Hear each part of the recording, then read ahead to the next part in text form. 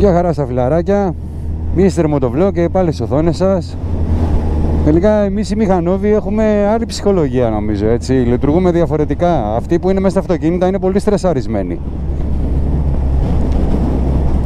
Εμείς ρε παιδί μου δεν ξέρω Είμαστε, μας τυπάει ο αέρας Ο αίσθημα της ελευθερίας. Πάνω στη μοτοσυκλέτα νιώθουμε αλλιώς Εγώ παιδιά ό,τι οδηγώ, είτε είναι σκούτερ είτε είναι η μεγάλη μηχανή. Παιδιά νιώθω απίστευτα και δεν το αλλάζω με τίποτα να είμαι μέσα σε αυτοκίνητο. Εγώ σας το έχω πει και να βρέχει και κρύο να έχει δεν, δεν με απασχολεί. Δεν μπορώ να είμαι μέσα στο αυτοκίνητο. Παιδιά είδατε το βιντεάκι με την τούμπα με την κάμερα ε; Είδατε σκηνικό που έγινε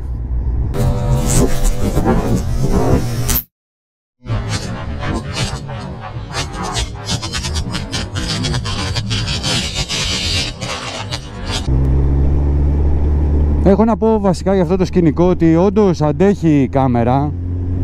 Δηλαδή τόσες τούμπες που έφαγε θα έπρεπε να έχει σπάσει, θα έπρεπε να έχει γίνει κάτι. Γιατί εντάξει πέραν ότι δεν την πάτησε ένα αυτοκίνητο κανονικά, δεν την πέρασε από πάνω αυτό είναι το τυχερό κομμάτι της υπόθεσης. Παιδιά είδατε στο βίντεο πως έφυγε, τι τούμπες έκανε. Και εντάξει κακά τα ψέματα εκεί δεν θυμάμαι τι είχα, είχα χιλιόμετράκια Ε, εντάξει όλα, όλα ήταν όλα γίνανε γύρω από τον Ατιβρό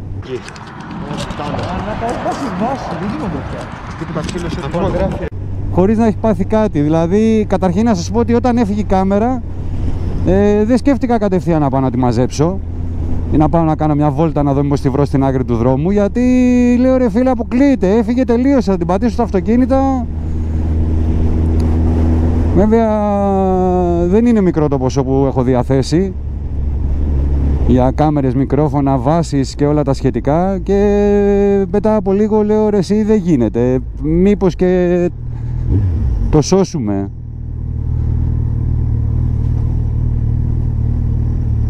και όντως έτσι τελικά σώθηκε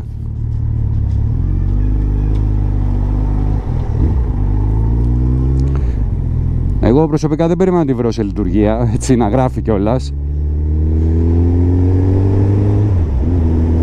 αλλά εντάξει όλα μπορούν να συμβούν απλά ήταν ένα πολύ καλό crash test για την GoPro γιατί ε, παιδιά έχω δει πολλά βιντεάκια σε action ε, καταστάσεις, σε extreme sports και τα λοιπά που αντέχει η κάμερα ρε παιδί μου, αντέχει τούμπες πολλές και τα λοιπά και αντέχει θερμοκρασίες, αντέχει παγωνιές και πιστεύω ότι ο Mr. Motovlog έκανε το δικό του crash test πάνω στην GoPro για το αν αντέχει και πόσο αντέχει και από ό,τι έδειξε η κάμερα παιδιά αντέχει πολύ Ακόμα δεν μπορώ να καταλάβω πως έγινε το σκηνικό. Δηλαδή ακόμα δεν μπορώ να καταλάβω τι έχει γίνει. Ε, καταρχήν να πω ότι έφυγε από το κούμπομα, έτσι, από το κλιπς που κουμπώνει πάνω στην αυτοκόλλητη βάση του κράνους. Ε, όπως έχω πει και σε πολλά παιδιά, επειδή έχω γυαραγωγό το κράνος μου και επειδή εμείς που κάνουμε motovlog έχω γυαραγωγό το κράνος, δεν μπορούμε να το βάλουμε απευθείας στο σαγόνι, δεν χωράει η βάση να μπει, θα πρέπει να γίνει χτίσιμο με ειδική εποξική κόλλα, μείγμα. Ε, οπότε την είχα βάλει στο πλάι, κουμπωμένη με το γνήσιο της GoPro το, το κλειψάκι και ένα arm extension ε, κινέζικο το οποίο στην ουσία μου την έφερνε 3-4 πόντους γυριστά λοξά μπροστά στο σαγόνι. Ε, δεν έφταιγε η κινέζικη βάση, η κινέζικη έσπασε μάλλον γιατί την πάτησε το αυτοκίνητο.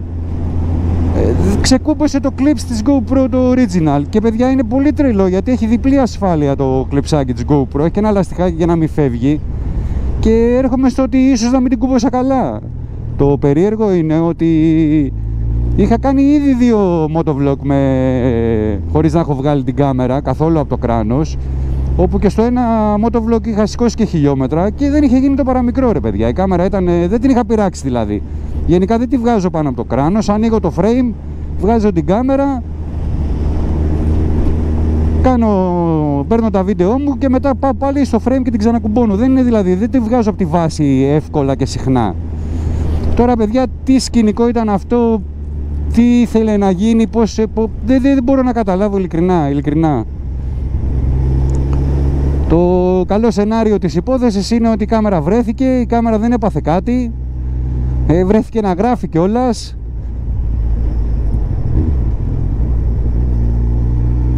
Ήταν ένα καλό χουνέρι να το πω, τα χρειάστηκα αλλά τέλος καλό όλα καλά οπότε έτσι και έφτιαξα το νέο setup δηλαδή πήγα πήρα αυτό το μείγμα είναι ένας απλά στελίνι το πλάθης ε, το οποίο έχει σε 6-7 λεπτά είναι της Stick για να το ξέρετε έχει σε 6-7 λεπτά να το πλάσεις και να το στήσεις εκεί που θέλεις για να κάνεις την κόλληση.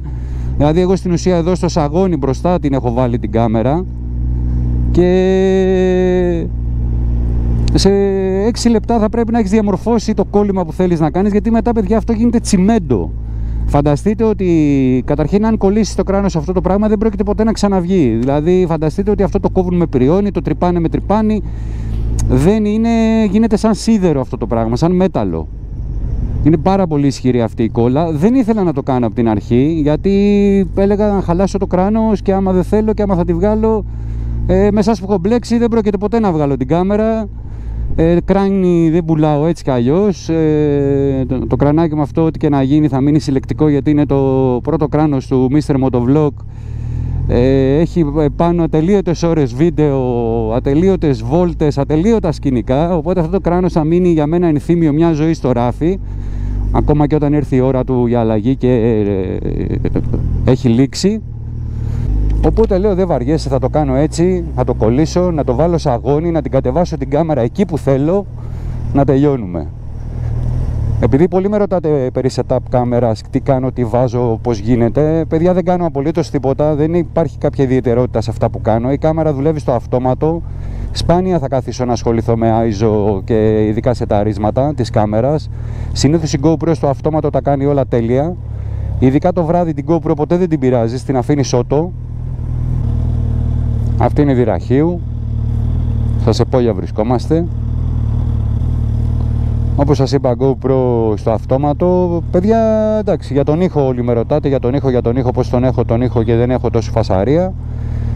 Ε, να σας πω ότι η GoPro επίσης ε, αγοράζει στο ανταπτοράκι μικροφόνου 3,5 jack το οποίο στην ουσία είναι ένας αντάπτορας για να καρφώσεις ένα μικροφωνάκι επάνω πέτου ψήρα πως αλλιώς το λένε.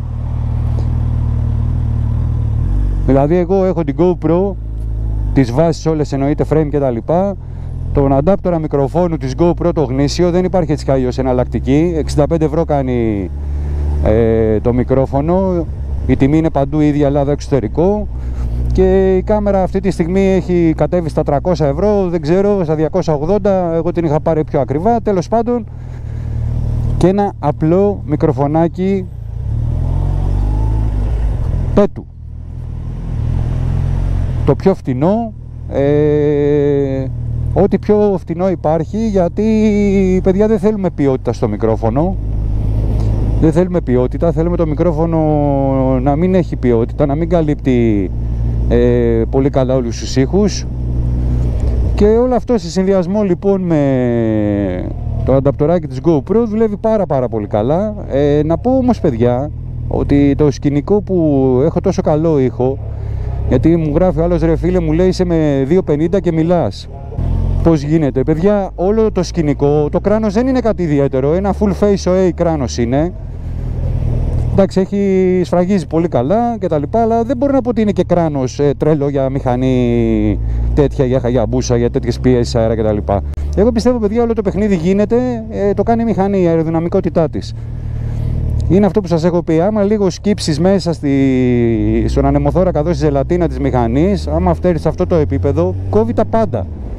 Αυτή είναι η αιτία του καλού αποτελέσματος του ήχου που έχω και τίποτε παραπάνω παιδιά. Δεν κάνω κάτι ιδιαίτερο. Ε, μετά εντάξει παίζει και το editing. Sony Vegas Video. Κάνουμε editing με αυτό εκεί δημιουργούμε εκεί υπάρχουν κάποια φίλτρα τα οποία μπορούν να σε βοηθήσουν αλλά παιδιά και εκεί δεν πολύ ασχολούμαι. Σας έχω πει ο χρόνος μου είναι περιορισμένος ε, προσπαθώ να βγει ένα τόφιο αυθεντικό βίντεο κατευθείαν στις οθόνες σας.